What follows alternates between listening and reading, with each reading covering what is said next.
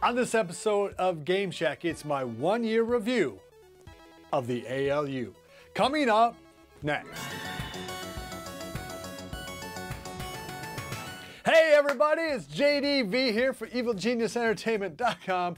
Thank you for stopping by the Game Shack, the world's smallest and coldest arcade. So I thought I would do my one year review of owning an ALU just in case you were on the fence about buying one or if you're thinking about jumping into the three quarter scale arcade hobby. Long story short, uh, if you don't want to wait to the end of the review, I'm going to just put it to you this way. It remains the best multi-cade game that you can buy in the business. And in my opinion, if you were going to start a home arcade, you probably should look at the ALU as being your first cab. And there are a whole lot of reasons for that. Number one, let's get right off the bat, is toughness. I've owned this game now for about a year, maybe 13 months. I've owned a long time. I played it almost every single night during that time.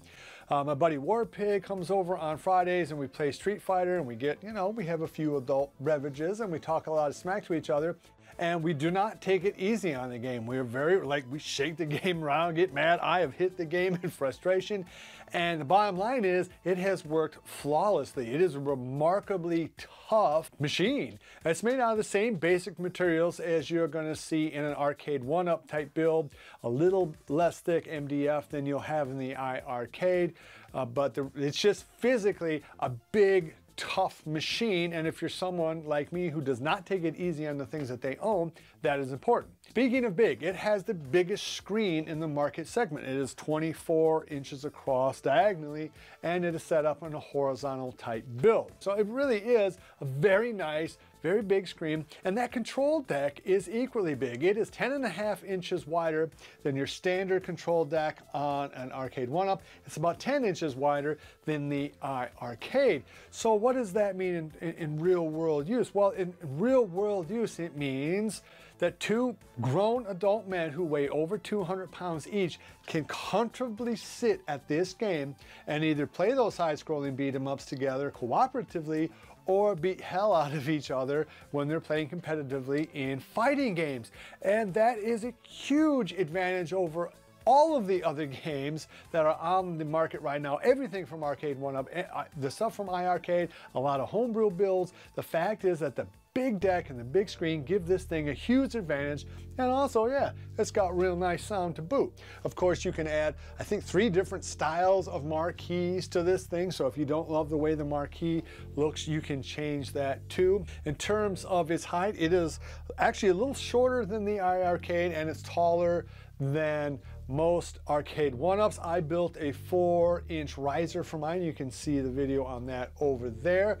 And so that kind of helps. But again, depending on how tall you are, I'm 6'1", you may be just comfortable or just fine with it being exactly the way it is. Anyway, the build quality, the size of the screen, the size of the control deck, the type of controllers on it, including on mine that has two spinners and a trackball. Now that might vary on what you get on some new builds for the 1.1 you have the pinball controllers on the side as well.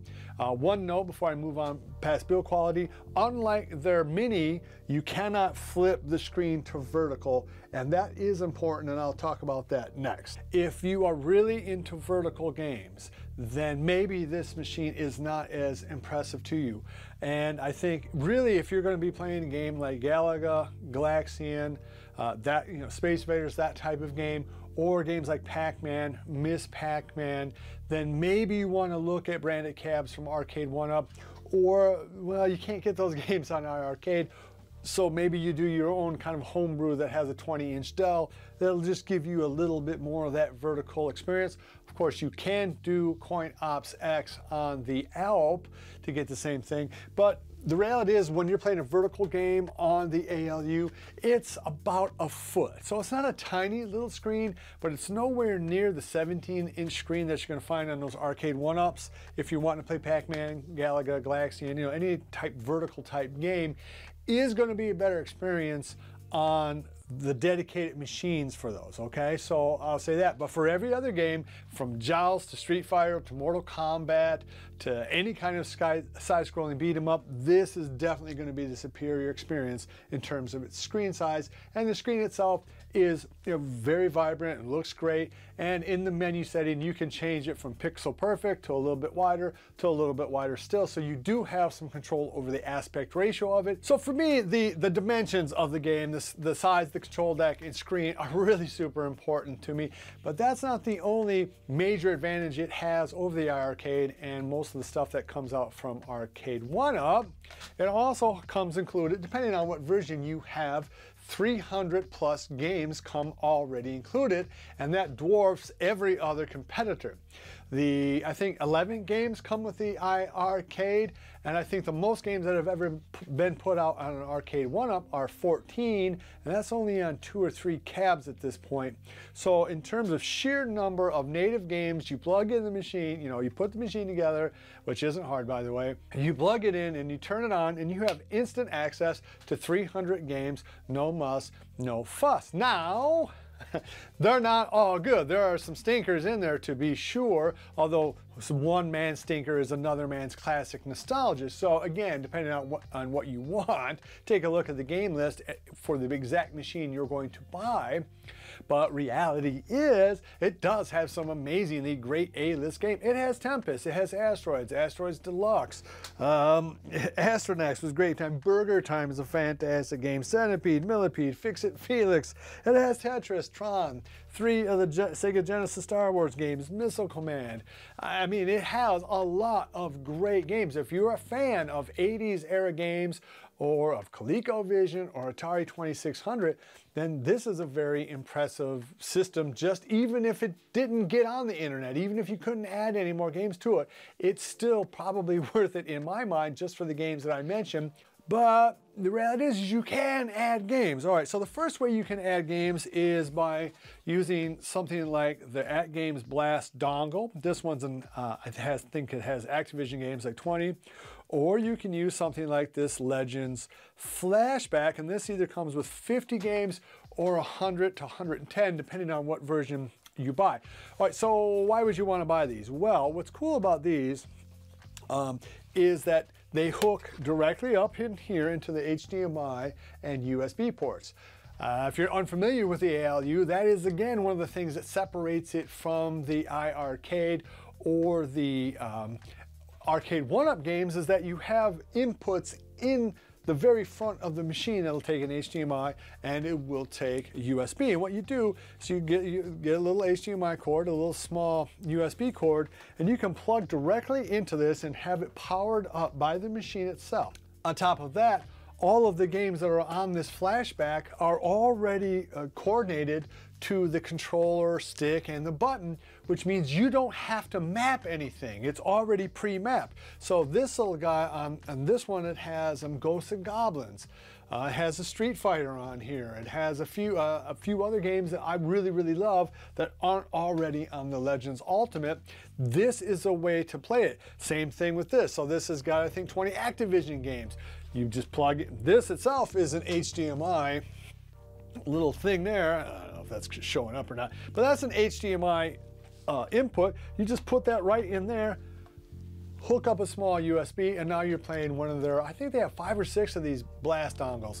And there are various different kinds you can get, Activision games. I think there's some a Namco version, which I think has Nintendo Pac-Man on there, but a pretty decent version of Pac-Man on there. So there are, in other words, there are ways to play licensed video games from AtGames that will plug directly into the front of the machine, and those games are all properly mapped out to the buttons and joystick which makes it again a very easy plug and play. The only real bummer on it is the fact that the Legends Flashback is kind of set up I, I, don't know, the aspect ratio is a little smaller on this, so, and you can't change the aspect ratio of this using the ALP or this thing itself. But what's crazy is that, uh, let's say you're playing Street Fighter off of this on here, is that it still ends up being a 17 inch diagonal screen. So even though you can't control the aspect ratio, it still ends up being the same size as the arcade one-up version, which to me is a trip. So I mean, you can pick these up for $35, bam, and you're playing Street Fighter that looks just as good as anything that arcade one-up has, already pre-mapped out to the far superior controller deck. But of course, it's not those AtGames add-ons like the Blast Dongle and Flashback that people really love about this system. It is Coin Ops X. Now, Coin Ops X is a fan-based homebrew type of thing, which essentially allows you to play a whole bunch of different games using your ALU. Assuming you have your USB properly imaged with whatever games you have, you let your um, ALU know that you want to play a Coin Ops X game. It goes through a little bit of rigmarole. And once you kind of learn the uh, UI of the ALU, more on that in a second, it lets you go ahead and have access to those games. You can either just use the kind of the simple menu, which is what I use, but there are all kinds of good front ends now that most of them involve a spinning wheel. That looks really good. Um, but it, you could really have whatever it is that you want and build whatever you want. So you could have one that just has vertical stuff or horizontal or Sega Genesis games or whatever. So you can kind of make these things whatever you want. Now there are three potential negatives about using Coin Ops is one, it's not quite as plug and play as the other things I've said. A second issue is the fact that after every five games, every time five uses of CoinOpsX. It makes you reconnect to the at-game server. You have to put in your email and your password and kind of let them know you're still alive. They'll respin it back up to five and then you can play it five more times. And the number three reason why maybe you don't want to use CoinOpsX is because they're not licensed. And take that as it will for good or for bad. Mm, it's up to you. No matter how you slice it, the ALU has the most amount of flexibility of any game system going right now.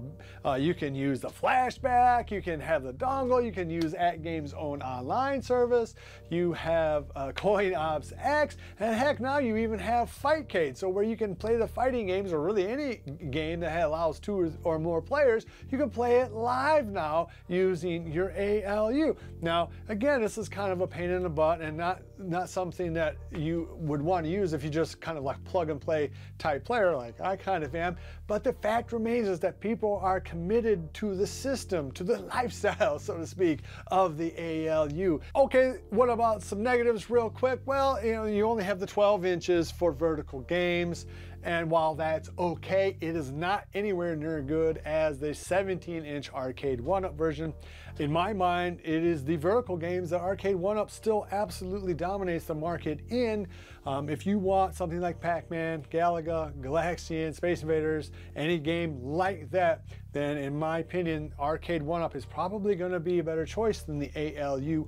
One other note about that, because these joysticks are set up as eight-way joysticks, you know, to be able to play the most amount of games, the fact is it's very, very hard to play a game like Pac-Man on here.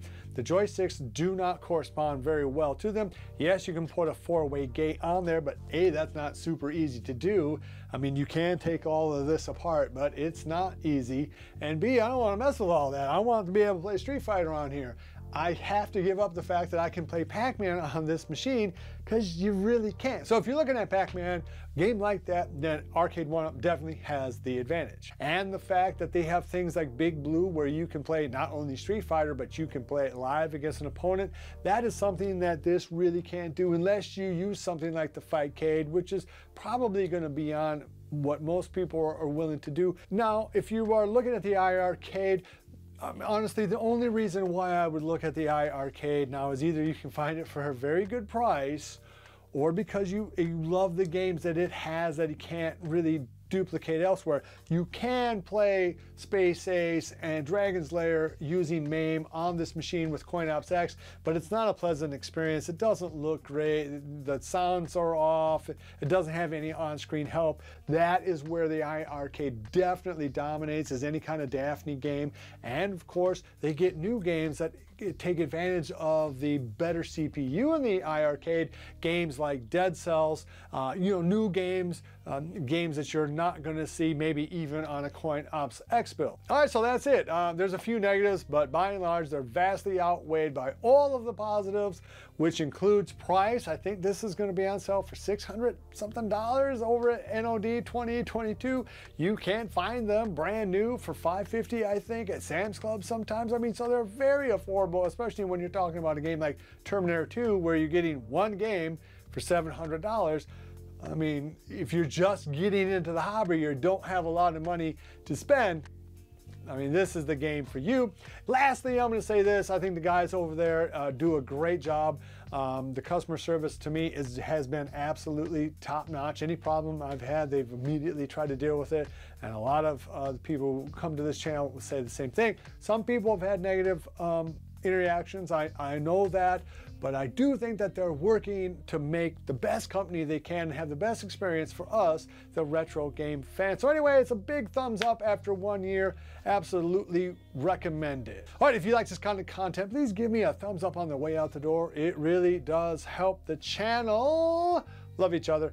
And until next time, I'll see you guys in the Game Shack. Mwah! Be sure to visit evilgeniusentertainment.com for exclusive content, swag, casting call news, and much, much more.